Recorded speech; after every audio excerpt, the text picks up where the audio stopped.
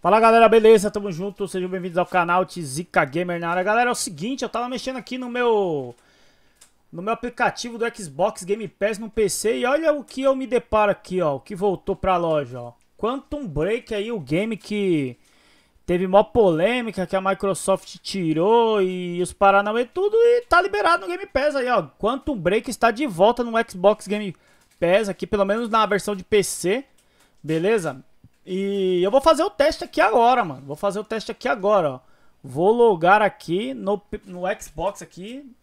E vamos ver se é só no PC ou se voltou no console. Mas, pô, eu tenho quase certeza absoluta que deve ter voltado no console também. É uma notícia boa aí pro, pra galera do Xbox que curte o Quanto Break.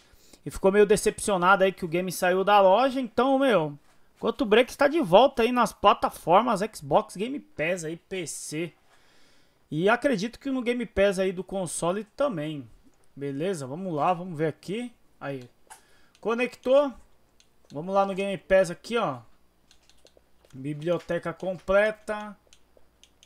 Xbox Game Pass. Quantum Break adicionado recentemente, ó.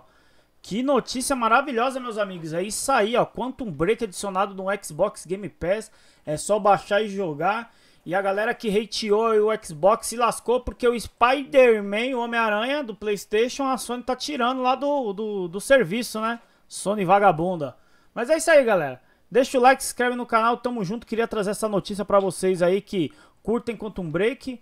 Então, só baixar e jogar, beleza? Não esquece de deixar o like, tamo junto, valeu, falou, até o próximo vídeo, fui!